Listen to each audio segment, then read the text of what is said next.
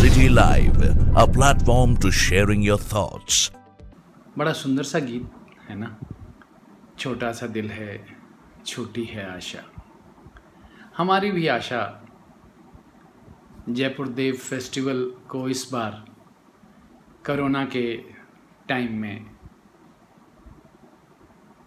Virtual रूप में जो करना पड़ा हमें तो हमारी भी आशा कोई बहुत ज़्यादा बड़ी नहीं थी।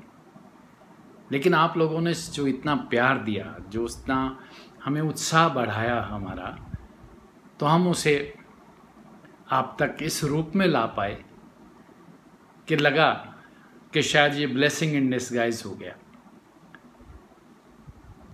इसके लिए तैयारी करते हुए मुझे ध्यान आया कि भारतीय सिनेमा के जो भी कोई शख्स जुड़ा होगा ऐसा हो नहीं सकता कि उसको जगदीप जी का नाम नहीं याद हो। जब पिक्चर देख के बाहर निकलता था कोई तो कोई और छाप हो ना हो। जगदीप जी की छाप बहुत गहरी होती थी। सुरमा भोपाली हो या किसी भी रूप में वो आते थे। तो मैंने उनके सुपुत्र जावेद जाफरी साहब से बात की।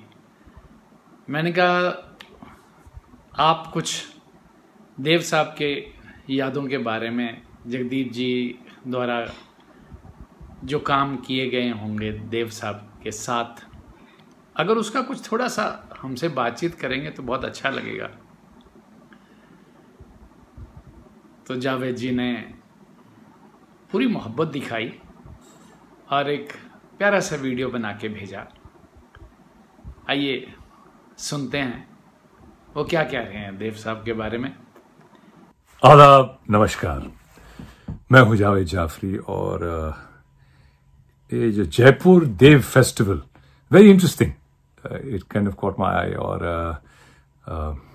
ये the evergreen Dev Anand society जो फॉर्म हुई है और ये रवि कामरा साहब ने इसको फॉर्म किया है it was quite quite very touching because क्या है कि ये जो हमारे जिसे मैं हमेशा कहता हूँ कि हिंदुस्तान के लोगों को दो चीज़ों से बहुत लगाव है एक है माँ और दूसरी है सिनेमा सिनेमा का इतना हम पर इन्फ्लुएंस असर आ, हमारी ज़िंदगी का एक अहम हिस्सा बन जाता है सिनेमा हिंदुस्तान में और इस सिनेमा के जो स्टार्स हैं, सितारे हैं, ये लोग इतना कुछ, हमारी एक यादों का एक बहुत अहम हिस्सा बन जाते हैं और they become part of a life it's part of memories and इनको याद रखना और इनको सेलिब्रेट करना I think it's a very wonderful gesture तो मुझे बड़ी खुशी हुई जब रवि कामरा साहब से मेरी बात हुई और उन्होंने कहा कि देव साहब के साथ आपकी कुछ यादें वाबस्ता हों तो आप भी उन्हें शेयर करें हमारे साथ। तो मेरे फादर ने एक फ़िल्म की थी देव साहब के साथ बुलेट बुलेट नाम था फ़िल्म का जो विजय आनंद साहब ने डायरेक्ट की थी। और आ, मेरे फादर का बड़ा अच्छा रोल था उसमें और तो, हालाँकि मेरे फादर तो 1950 से 1949 50 से 50 से इस इन 49 से इस इंडस्ट्री में है तो ये सब जो प्यारे प्यारे हमारे महान कलाकार गुजरे हैं, और दिलीप साहब, देव साहब, दिलीप साहब तो अब भी हैं परमात्मा उनको सेहत और हयात दे। देव साहब राज कपूर साहब, गुरुदत्त साहब, बिमल रॉय साहब, इन सारे साहबों के साथ इतना अच्छा काम किया है हमारे फादर ने। तो वो हमेशा मतलब देव साहब के बारे में आई थिंक उन्होंने हमेशा ये कहा कि बहुत ही डिग्निफाइड बहुत ही डिसेंट और एक वर्कोहलिक कि काम हर वक्त उनके जहन में काम क्या करना ये कैसे करें वो कैसे करें। वो फ्रिवलिस वक्त नहीं था उनके पास। काम के बारे में बात करते थे। आ, तो मैंने दो फ़िल्में की उनके साथ। एक थी लश्कर और दूसरी थी अमन के फरिश्ते। अमन के फरिश्ते रिलीज़ नहीं हुई। एक बहुत ही कुछ अजीब सा कुछ रिलीज़ बाद में हुआ था। बट लश्कर रिलीज़ हुई थी और काफ़ी चली भी थी लश्कर। और देव साहब ने मेरे ख्याल से कुछ आठ या ग्यारह ग्यारह सालों बाद किसी बाहर के डायरेक्टर प्रोड्यूसर के लिए काम किया था क्योंकि वो हमेशा अपनी फ़िल्मों में काम किया करते थे एक हद। सो so, लश्कर में आ, वो विजिलेंटिक किस्म का रोल था। वो उन्होंने ऐसा रोल कभी पहले किया नहीं था कि एक प्रोफेसर है उसकी वाइफ को मार के बहन को रेप कर दिया है और वो आ, अब एक बदला लेने में एक शरीफ प्रोफेसर किस तरह से बदला लेता है और एक चार लोगों को अपने साथ जोड़ता है ये प्रोफेसर और इसमें हेमंत बिरजे, अनंत, आदित्य पंचोली, सुमित सहगल और मैं। हम चारों को जोड़ के किस तरह से ये जो ड्रग्स माफिया है, इससे गैंग से हम लड़ते हैं और एक जंग उनसे करते हैं।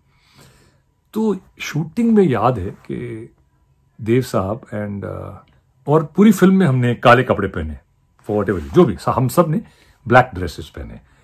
और देव साहब एक बार हम शूटिंग कर रहे थे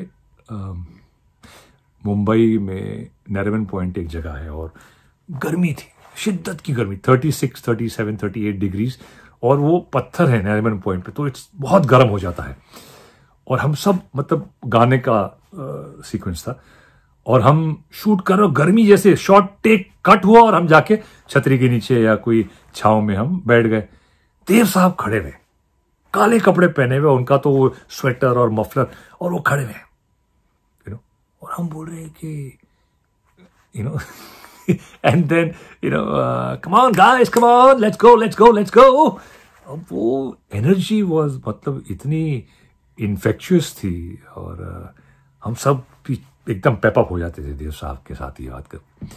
और, उस वक्त मुझे मुझे एक बात याद आई कि एक, बहुत लोग खड़े रह के शूटिंग देख रहे थे। तो एक किसी ने क्राउड से पूछा कि, देव साहब, आपकी एज क्या है?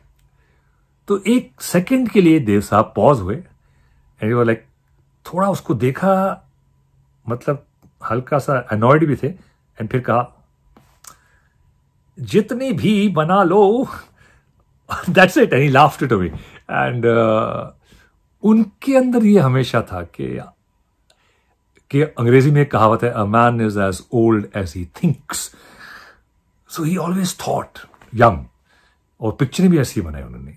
He he he said he said, Javed, you have to be young in your mind, to be अब वो you know, some people think अजीब है, no, but there is a lot of truth in that. वो बहुत एक, कि वो आदमी एंड तक इतनी एनर्जी थी because it's in your mind if you think you're young you want to think young and I think that kept him going और मेरे साथ भी हमने एक शो किया था टीवी पे बोगी बोगी उसमें बिकॉज़ हम सत्रह सालों तक वो शो चला।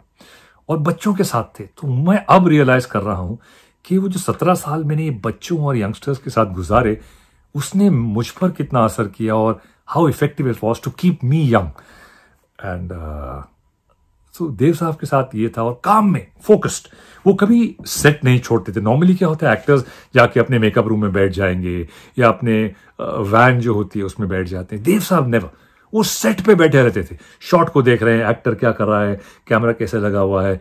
वो पूरा यू नो आई थिंक बहुत ही प्रेरणा मिलती है मिली है उनसे। और मतलब एक कंप्लीट जो एक्टर किस तरह पूरी फ़िल्म में घुस जाता है।